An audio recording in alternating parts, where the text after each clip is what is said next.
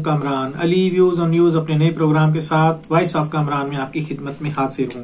अज़ीज़ दोस्तों, आज मैं खबर रावलपिंडी डिस्ट्रिक्ट कोर्ट से लेकर आया हूँ।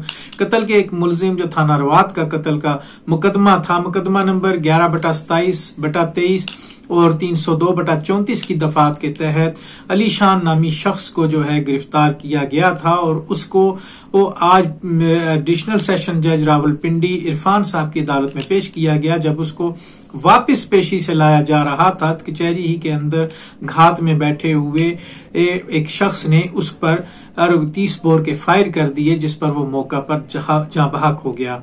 अज़ीज़ दोस्तों इस केस की तारीख या हिस्ट्री ये है कि इसमें इस शख्स ने, अली शान ने अपनी बीवी को कत्ल किया था और उसका इंतकाम लेने के लिए भाई जो है, बीवी का उसका जो साला था, उसने अपनी बहन के कत्ल का बदला लिया। और वो मौके पर जहाँ बहाक हो गया और उसी वक्त वहाँ पर मौजूद पुलिस ने कातिल गफार खान को भी पकड़ लिया। उसके अलावा अज़ीज़ दोस्तों, अली शान की जो मैयत थी, उसको डबल वन डबल टू के हवाले कर दिया गया।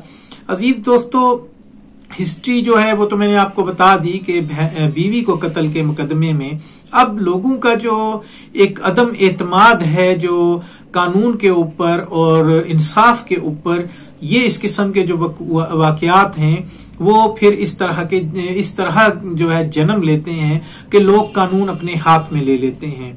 अगर लॉ एंड ऑर्डर के इदारे ठीक तरीके से चलान बनाएँ और मज़बूत केस को तैयार करें तो उसके बाद जो है अदालतों के अंदर जब चलान जाते हैं और फौरी तौर पे इंसाफ अदालतों से मिले और उसके बाद ये लोग जो हैं अपने हाथ में कानून किसी सूरत ना लें।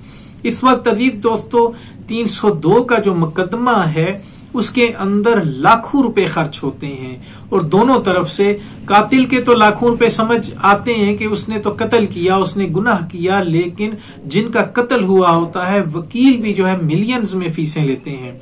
अगर अच्छा वकील ना करो तो इंसाफ जो है, वो मिलना जो है बिल्कुल नामुमकिन सा हो जाता है। इस वक्त हमारे इस माशरे को या इस सोसाइटी को और लॉ एंड ऑर्डर के अदारे और अदलिया को इस चीज़ पर सोचना होगा कि लोग कानून में अपना हाथ जो है, वो डालना कैसे छोड़ेंगे। और वरना अगर यही कुछ होता रहा जो अदलिया के मामलात हैं, अभी तक जो है, कितने लोगों को, सालों के बाद अगर सजाए मौत हो भी चुकी है तो अभी तक गैर मुल्की आकाओं को खुश करने की खातिर पाकिस्तान के अंदर कैपिटल पनिशमेंट, यानी कि सजाए मौत को जो है, उस पर पाबंदी लगाई गई है।